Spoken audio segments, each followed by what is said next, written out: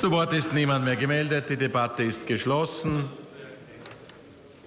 Da nur ein Wahlvorschlag vorliegt, äh, schlage ich, meine Damen und Herren, vor, im Sinne des Paragraphen 87 Absatz 7 GOG äh, durch Aufstehen und Sitzenbleiben abzustimmen. Erhebt sich dagegen ein Einwand? Das ist nicht der Fall.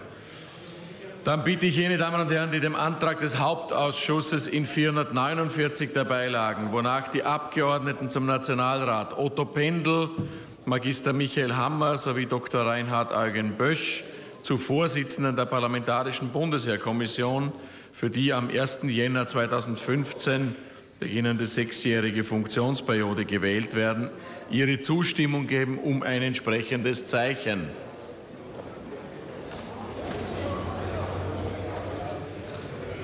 Das ist einstimmig angenommen.